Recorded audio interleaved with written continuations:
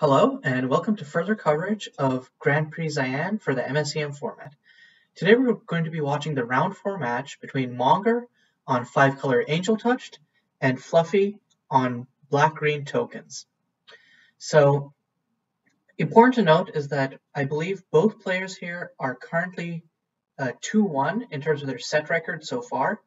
So, this determines who will uh, make the cut for top 6 and who will end with a 2-2 finish, which is still a respectable set record, but they won't make the cut to top 6.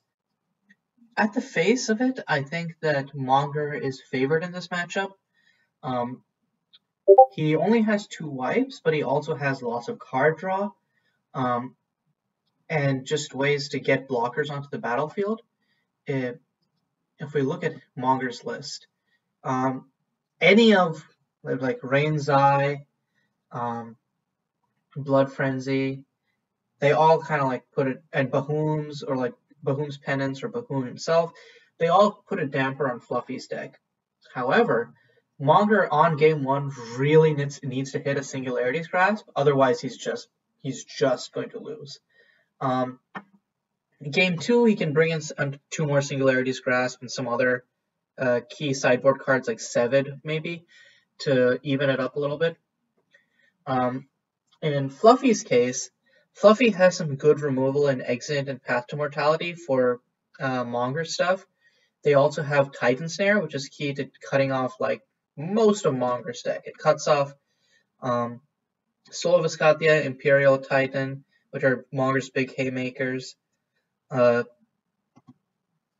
uh, Cold Grave is also an amazing sideboard piece against Monger because Monger's deck is super reliant on the graveyard. And Smoke's Whispers to steal something from Monger could also be coming in. So it could be switching to a more, not mid-rangey, but like hate piece card. Okay, so Monger discards Soul of Escathia and Crystal Wave. Soul is uh, usable from the graveyard. It copies a creature. Um, but it's really not what you want to be. I don't I don't think it's like its top priority for getting into the graveyard right now. Um, I think Monger would probably have much uh, would have much preferred something like uh, Archive Guardian or uh, Blood Frenzy right here. Hmm. Appears some sort of a issue with Fluffy accidentally drawing a card. Let's go and see if they're talking about it in the chat. Yeah, a judge call. Accidental card drawn by Fluffy. Only known card is at the bottom of the library. Procedure is to leave the bottom card on the bottom and shuffle the extra card in. Okay, so just checking with the, the judges over here. In the meantime, uh, I think Fluffy came in uh, thinking that their deck would perform poorly, but I think what's happening is that the meta is not really expecting creature decks because like it's a weird like whiplash where it's like uh, there are lots of cards that uh, do work against creature decks. Therefore, people don't as often play creature decks. Um, as a result, people don't side or like don't mainboard or sideboard for creature decks as heavily. Um, and then in like a weird whiplash um, that makes all in creature decks a little bit better. Of course, this deck still gets absolutely destroyed by wipes. Um, but it's still if if a wipe doesn't happen, then Fluffy has like some insane curves. Like their ideal is um, turn two seed call into uh, turn three Nomadic Patriarch, because um, that basically gives them six damage swinging out turn three, uh, and they can just keep putting on a clock from there. Turn one Daisy might be even better, honestly, because turn one Daisy um, allows you to go for uh, turn one Daisy, turn two Seed Call, and into uh, Nomadic Patriarch. Um, and then you swing out turn four for, well, if you swing out for 12, and then if you swing with Daisy both turns, that's lethal on turn four, I believe. So that's a that's a quite the strong line. Unfortunately, Fluffy didn't have that. Instead, they had no turn one play into turn two Exhausted Farmhand. Exhausted Farmhand is fairly okay. It works as ramp with the fetches, and you can use it to create uh, tokens. So Fluffy not doing anything here. At instant speed, I believe they only have removal, like Exit, Path to Mortality. Um, well, they also have Seed Call. So I could see um, if they have a Path or um, Exit, I could see holding that up plus Exhausted Farmhand to be able to nourish on end step. So Monger right now has colors for Blood Frenzy. Um, they're thinking about something. Okay. Playing Angel Touch Crag. And they're tapping out for Unearthed Legion, which is currently a 6-6. Um, Fluffy might just uh, nourish into Exant here.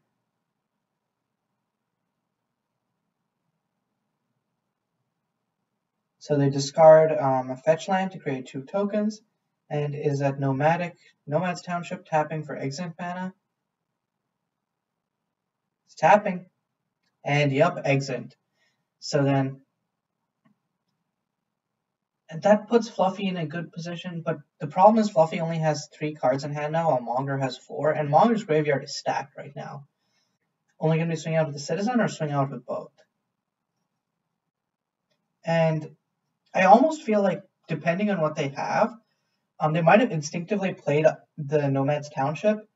Um, but I think that could have been a bad move. If they have two cards that are gas in their hand, uh, they should have kept the Nomad's Town, or like even in general, I think like uh, should have kept the Nomad's Township in hand uh, so that they can have more gas for Exhausted Farmhand.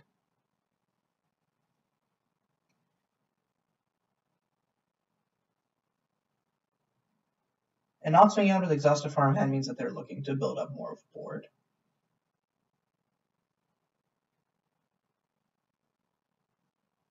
Also, uh, actually, I guess like another thing is that uh, keeping Exhausted Farmhand untapped uh, gives Fluffy uh, a way to protect against Blood Frenzy. Monger could just play Blood Frenzy right now and kill Exhausted Farmhand, and that's maybe why uh, Monger just went straight to end. Um, what else does Monger have? Monger also has Singularity's Grasp at instant speed. Uh, but that wouldn't kill the farmhand, so that would be a uh, that would be a difficult play to justify. And Monger's taking the damage, so what does Monger have in hand? They have four cards in hand, but they're not doing anything. Could they be stuck with like two Imperial Titan, two Soul of Viscatia, or like they actually they discard one Soul of Viscatia, but like two Imperial Titan, Soul of Viscatia, and then like, uh, God, I don't know. Yeah, what else? Well, what would they have that they wouldn't play? Crystal Wave? They they could be holding up Crystal Wave. Yeah, okay. So they play Crystal Wave, um,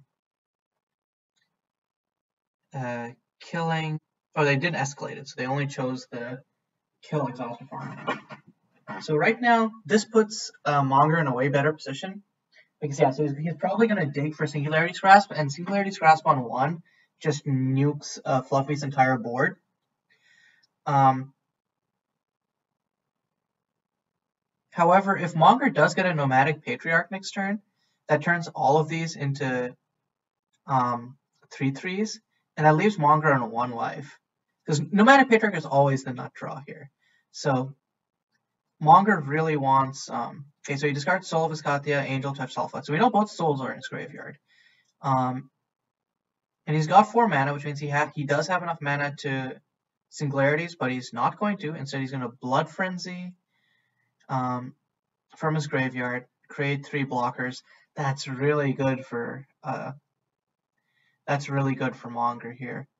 Um, now, Fluff, Fluffy needs a like needs Daisy or Nomadic Patriarch here.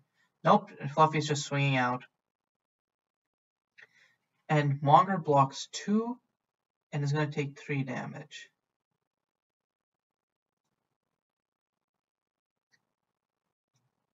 So while this might seem like a bad position for Monger because he's down on board and um, he, he's at half a starting life total, having stuff like Bahum's Penance, Bahum, Rain, um, I mean, this this is a really bad position for Fluffy right here. And ah, that's an Unearthed Legion for 15.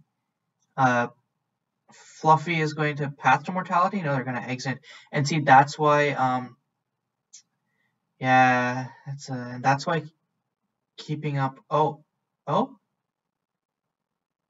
I guess Fluffy didn't see that, but yeah, that's why keeping up the ele the elemental rather than blocking with all three was a good move there. Um, so yeah, this is completely in Monger's favor right now, unless Fluffy has Path to Mortality. Fluffy's getting all of the removal they need, and the crazy thing is like, um, Path to Mortality giving your opponent another creature is usually bad. Um, but Soul of Ascalthia, which would be the biggest hit here, is not available to Monger because he has both of them in his grave. Imperial Titan is um, not a good card to have in hand, so unless he has Mill, I doubt he'd play it. And Archive Guardian is okay, but it's not like the best threat threat. So yeah, he got Archive Guardian. Oh, and there's the Nomadic Patriarch. So um, Fluffy swings out for six this turn and wins next. Uh, but, but Fluffy's also empty-handed. But yeah, Fluffy swings out for... Oh, they're making a token?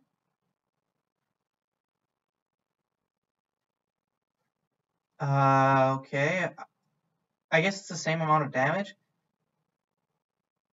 But no, it isn't, because if he'd if Fluffy had uh, nourished on uh,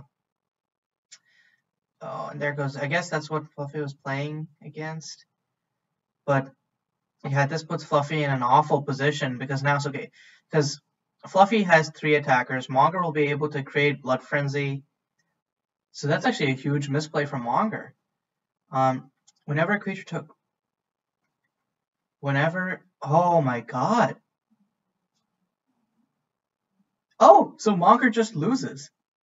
Um, so that basically happened from a weird interaction with Nomadic Patriarch and Blood Frenzy, where um, Monger specified in response to attacks uh, as far as I know. So he did plus three, minus three. Uh, but I guess since I guess like the attackers got plus X plus X for nomadic patriarch's power because the trigger was still on the stack. Like I, I don't actually I don't know if that's how that works. That feels unintuitive to me. But they both seem to know the ruling, so Monger loses game one. And he'd almost seem to stabilize there. Uh, so, game two, I think we're seeing uh, maybe Titan Snare uh, come in. I think Cold Grave for sure, absolutely. And then maybe Smoke's Whispers. I think Smoke's Whispers as uh, a way to just grab uh, Singularity's Grasp out of uh, Monger's deck is really good because Singularity's Grasp is like the one card you don't want Monger to have. So just yoinking it. It's also like technically a way to get hand information if you use it like in uh, early turns because you can you can if you take the time you can look at like what they have in their entire library and then deduce like okay um, this is what they must have in hand given it's not in their library. Uh, meanwhile, Monger is free, bring in Singularity's Grasp in for free. Uh, I think Crystal Wave as well because you want point and click removal for uh, Nomadic Patriarch. It's a kill on sight card. Uh, maybe Sevid just to create block. I think Sevid will probably come in just to create blockers. Um, in exchange for like Recall Forgotten Aeons. And I think that's probably what we're going to see.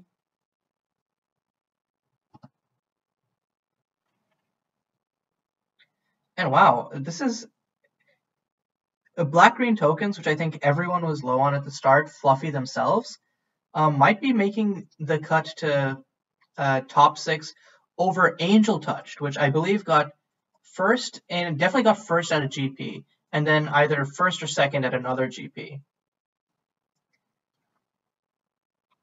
So this this really shows like just play the decks you love and as long as you're like willing to put in the time to um, tune them and make them better and like adjust to the meta, sometimes just miracles can happen. Okay, of course, I'm talking as though Fluffy has won the entire set already. They haven't. So let's see how they do in game two. Um, so Monger leads with an unquenched greed. Uh, and you really don't want Monger to have cantrips early. You don't want him to be able to draw into Singularity's Grasp. He's thinking hard, so he prob that this he might just have all gas, which again is not something that you want your opponent to have. So you discard Bahum's Penance and Blood Frenzy. Blood Frenzy is very good for Monger's Graveyard because it gives him like three free blockers for two mana. Of course, three life is not exactly free, but it's it, if you're blocking their creatures, then it's pretty free. Ah, and the turn one Cold Grave, which I'm assuming it's taking out Blood Frenzy. Yep, yep. And Cold Grave is just so damaging. So now Monger needs a Singularity's Grasp, essentially. And turn one, what are you tapping for? Dark. Wait, Fluffy has Dark Bargain in their deck? Interesting. I did not know that. Um, yeah, I missed it. Dark Bargain. So I guess they're just using that to draw into something better. But yeah, Cold Grave. Yeah, does what does Monger have that can stop this other than Singularity's Grasp? I think the answer is may, like maybe Rain's Eye, uh, may, like maybe imp, uh, like Imperial Titan even like Fluffy it can like just do Cold Grave in response. Yeah, this is not a good place for a Monger to be in. So, oh god. Wait, what happened? So, Monger played Leyline Alignment Field. And uh, what do they have in Graveyard? Oh, they had Bahoom's Penance and Unquenched Greed. So that would give them access to 5 mana next turn. Now they are at um I guess that that was a good play by Monger since it immediately forces um, Fluffy to proc Coldgrave but it depends on what he has. And also, Fluffy not having a turn two play is so damaging. But Monger doesn't either. And oh, oh wait, what is that? What does Monger have that he could be holding up for this mana? And, and the answer is nothing. Monger just has, even from side, yeah, everything is uh, dual colored. So they, they, oh my god, so Monger just doesn't have it. They don't have their third land drop. They don't have anything they can play. And Fluffy's going to be dropping a Smoke's Whispers. Yep, and let's see what they're grabbing. I think probably Singularity's Grasp just to keep it out of Monger's deck. Or maybe a cantrip, depending on how badly their hand is doing, but I think likely you just want to keep Singularity's Grasp out of Monger's deck. Fluffy saying, got some goodies here for sure. Uh, yeah, Mong being able to cast any like any and all of Monger's deck just for free is pretty spicy. Um, I guess Rain's Eye could be really good next turn. Uh, but again, I still think that Fluffy just wants a Singularity's Grasp. No, okay, they're they're gonna grab Rain's Eye. Uh, I don't know if I agree. Okay, I, I guess Rain's Eye gives Fluffy. Um, I guess Rain's Eye does give Fluffy game versus wipes because it gives Fluffy the ability to rebuild. Dark Bargain. Yeah, okay. We cantripping out here. And I guess Fluffy, this is like a weird, like I, I like in my set versus Fluffy, I also felt this where it's like Black Green Tokens is like the a weird capacity with Smokes Whispers to just kind of flip into it. Oh, and another. Oh no, I don't know that this was the right time to play Cold Grave because you don't have mana up. Um, you could have just played it next turn, dude, when Monger could have milled something. Like cantrip something. I don't think that this is the right play. But Monger, oh my god, Monger still doesn't have anything. Oh, this is, yeah, okay. So, if playing Rain's Eye, probably creating a Spirit token, and then holding up one mana for either Cold Grave or Dark Bargain is what I think their uh, Fluffy's play is going to be. Yeah, the, the Smokes Whispers gives Fluffy's deck like a weirdly grindy control feel. Like if, if if Fluffy draws a hand with it, of course. Okay. So Forest and Daisy Heart of Chasmec. You don't really want to be milling Daisy, but the Forest is okay because you have lots of oh no. I think that could have been a mistake. Like I don't think because you don't have the mana to do anything with Dark Bargain, uh, and you want to hold up the one mana for Cold Grave just in case uh, Monger does get something. Like if Monger like um manages to get something into Grave that's like uh, impactful now. I, like I I don't know if there is a line like that, but like I don't know. I don't know. Okay, but Monger, Monger is this is such bad luck for Monger. He's not drawing any lands, but I guess Leyline is on three because of Crystal Wave. And again, this is why this is why Fluffy should have uh, held up their Cold Grave because now they could have exiled um, this Crystal Wave and prevented Monger from potentially having three mana next. I guess they would have three mana anyways, but like just potentially. And no, and like I, I guess Fluffy is hoping that like they're just hoping to keep Monger off like Leyline, but you they only have three Cold Grave. You've spent two Cold Grave. Oh, they're gonna zero rain to bring back Cold Grave. Oh no, they're gonna bring back Daisy. Okay, this is. I think this is a series of misplays from uh, Fluffy. Okay, sprouting, fine, but I think um,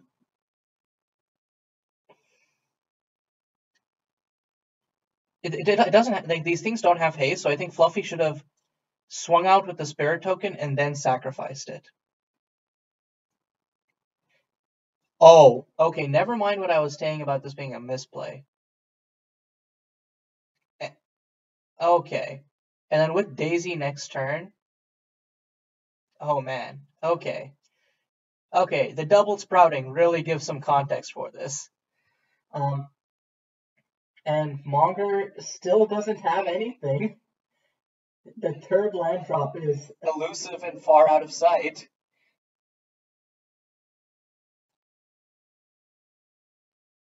Okay, so Fluffy has six cards in hand as well. So they could have Daisy, they could have Daisy and then Nomadic Patriarch, and then just win. I doubt it, but they could. Daisy gives them Okay, so they have Daisy. So that's uh that's 12 damage. So that's a two turn clock on Monger. What else do they what, what else do you have in hand, Fluffy? What you got? Which I think it's literally impossible for Monger to win this right now. Um they don't have the mana to Singularity's Grasp. Because they need a Singularity's Grasp for two. Um, with okay, that would require them to have uh, four colors in Graveyard, uh, two of which are black and green, but they don't. And this is uh, this is of course assuming that Monger already has Singularity's Grasp, but he just straight up might not. See, I think this is going to Fluffy 2-0. I because uh, I guess Monger could have um, Blood Frenzy on Daisy.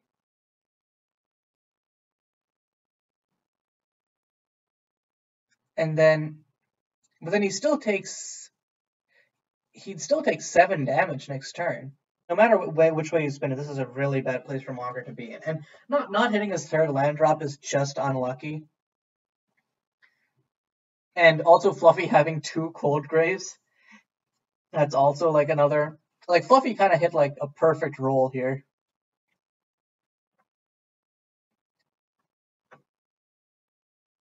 And Rain's like and Rain's Eye is just kind of an MVP in Fluffy's deck. It, he creates tokens, he can recur permanents, he can tr- trigger killing stuff for sprouting. Like surprisingly versatile. I'm like I was thinking that Fluffy would want to grab uh, Singularity's Grasp, which I think is the better choice objectively if Monger wasn't uh, tapped all the way out with no mana ever. But uh, this Rain's Eye in the specific situation where Monger was in fact uh, never going to draw his third land, uh, Rain gives uh, Fluffy game in terms of like being able to actually create tokens with sprouting and get back, getting back Daisy etc. So Fluffy is currently going to go check something on the rulings, which I am confused about because what ruling are you going to check that will be relevant as to whether or not you will win the game here?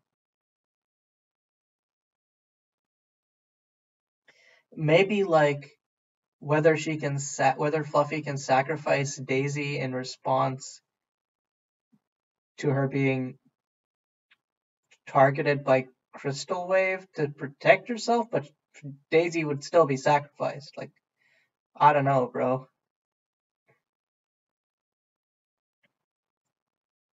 Are they gonna path to on instant path to mortality their own Daisy to go get nomadic patriarch? That would be that would be like a ten thousand IQ play. Um, uh, I guess we should be. I, I, guess I should be looking at uh, Fluffy's deck list to see what they could be think, thinking of here. Um, Villains the musical, maybe. But if they had villains, they would have played it earlier. Because if if they had villains, they would have played it already by now. Um, yeah, I don't know. And also, I guess they could have cast Cam- Camouflage Sparios earlier, but I don't know.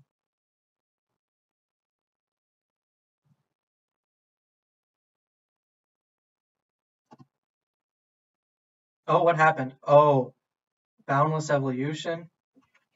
So I I don't know what the point of that was, if I'm being perfectly honest. It's just kind of cool overkill, but it really comes down to does Monger have Oh, and that's it. Wow. And it's a fluffy 2 O's Monger and takes the 3 1 record to carry them to top six.